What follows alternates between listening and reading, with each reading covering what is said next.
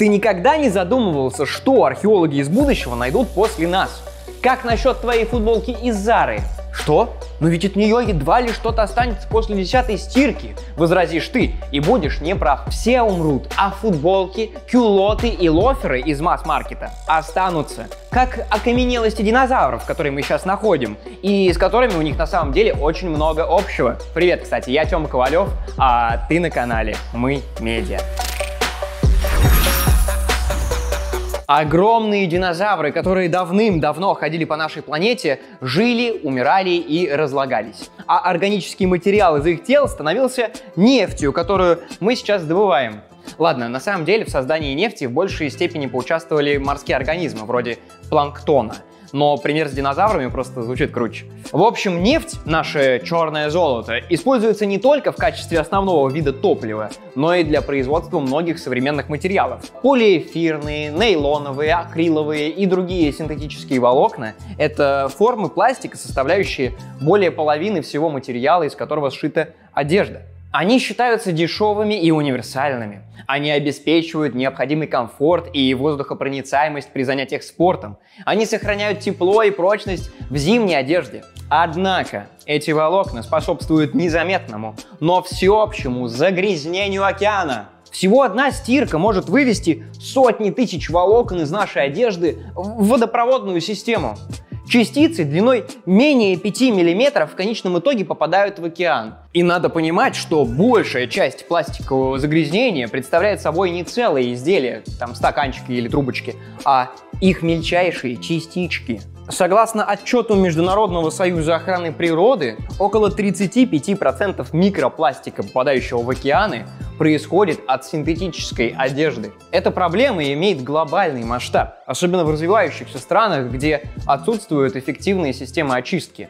Волокна синтетических тканей требуют сотен лет для полного разложения, что означает, что пластик, выброшенный в океан сегодня, останется там на несколько поколений вперед. И его, дай бог, найдут мои внуки. Мало того, что микропластик сам по себе токсичен для дикой природы, он выступает также в роли абсорбента, впитывающего токсины из окружающей среды. Он попадает в организмы бедных морских животных, накапливается в пищевой цепи и создает серьезные проблемы. Недавнее исследование показало, что у 73% рыб, пойманных в северо-западной части Атлантического океана, были обнаружены частицы микропластика в их желудках, а соответственно потом и в наших. Он обнаруживается практически везде, даже в продуктах, которые мы употребляем в пищу. Пугающая статистика указывает на то, что человек за год поглощает около 5800 частиц синтетического мусора. А вот э, еще немного цифр. Согласно Forbes, ежегодно производится 150 миллиардов вещей, что на 400% больше, чем в 2000 году. За последние 15 лет срок использования одежды сократился в 5 раз. 97% всей одежды, продающейся в развитых государствах, произведено в странах третьего мира.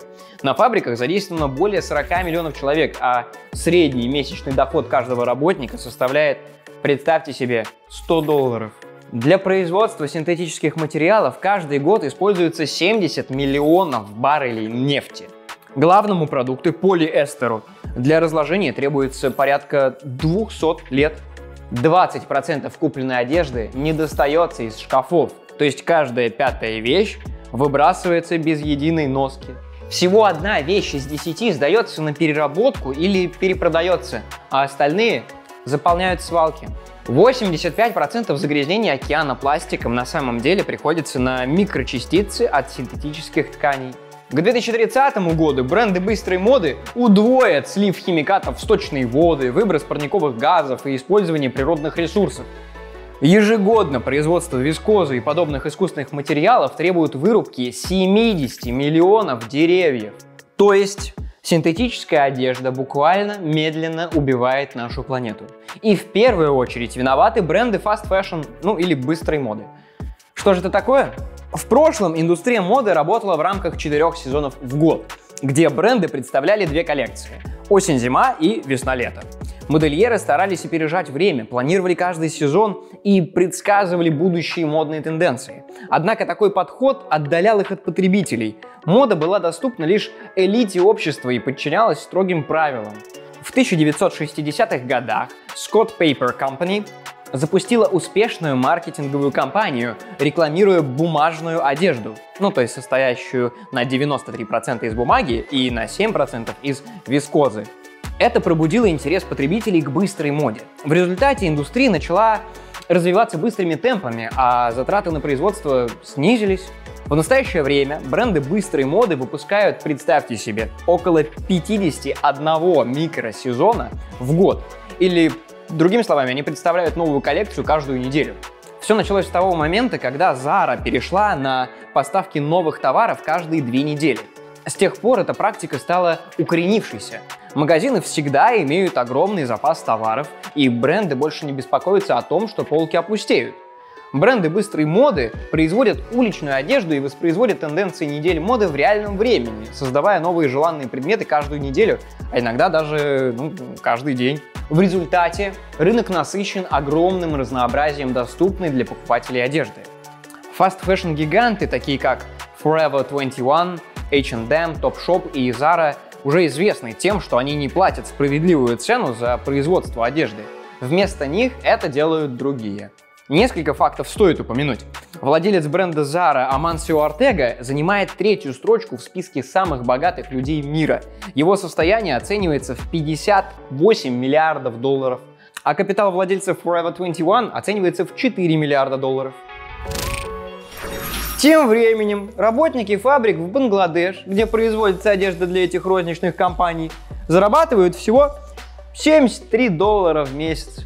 Это на 38 долларов больше, чем они получали, когда в апреле 2013 года 1100 работников погибли при обрушении здания Рана Плаза, где находились магазины и фабрики по пошиву одежды. И это был не единичный случай. В период с 2006 по 2012 год более 500 бангладешских работников швейной промышленности погибли во время пожаров на фабриках. И ни одна из этих новостей широко не освещалась чтобы не уменьшать аппетиты потребителей к дешевой одежде. В том же году в США было потрачено 340 миллиардов долларов на модную одежду, и большая ее часть была произведена в Бангладеш.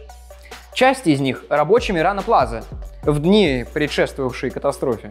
Ужасные условия труда также присутствуют на фабриках в Китае, Камбодже, Малайзии, Таиланде, Вьетнаме. Именно здесь производится одежда для fast fashion брендов. В основном на этих фабриках задействованы женщины и дети, которые вынуждены работать с токсичными химическими веществами. Вот какова цена топа стоимостью всего 20 долларов. И еще. На севере Чили располагается самая сухая пустыня на Земле – Атакама, которая простирается от Тихого океана до Анд. Там находится свалка одежды, которую видно даже на Google Maps. Ежегодно в Чили поставляется 60 тысяч тонн подержанной одежды. Ну, в основном из США, Европы и Азии. Часть из них может быть перепродана, часть переработана в текстиль флис, но не менее 39 тысяч тонн остаются в пустыне.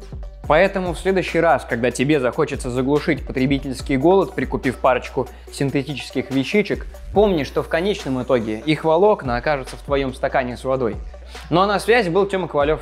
Если ты досмотрел этот ролик до конца, ты напиши в комментариях число 414. Посмотрим, сколько нас.